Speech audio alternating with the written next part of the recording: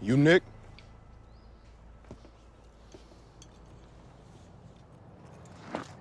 So Redix, huh?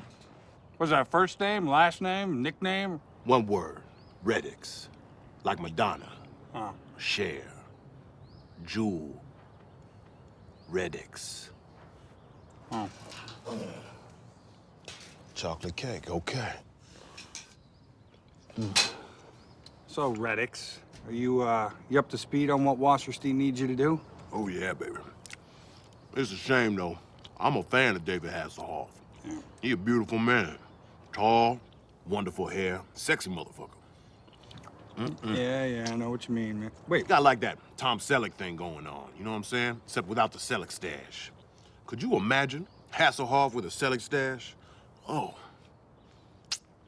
Damn. I'm getting hard just thinking about that. What are you gay? Yeah, you got a problem with that? No. I just I mean I would never I mean look Yeah. I get it. You're fucking with me. That's good. You almost got me. hey, man, didn't your mom ever tell you not to judge a book by its cover? yeah, but But, but, but, but nothing. Let's get one thing straight.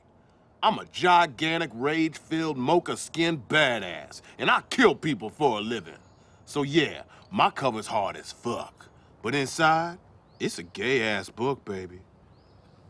Now, who's a motherfucker got to blow to get some milk around here? Here, take my milk. I ain't drinking your milk. Why not? That's gross. So you took my cake. That cake's one thing, milk's another. Man needs his own cup of milk. You put dicks in your mouth and you won't drink my milk? Hey, you pour some milk inside a dick, I'll drink that shit. But I ain't drinking it out of your nasty-ass cup. You people confuse the hell out of me. Black people? No, gay people. Okay, okay. I'm fine with that. That's confusing to some people. I get it.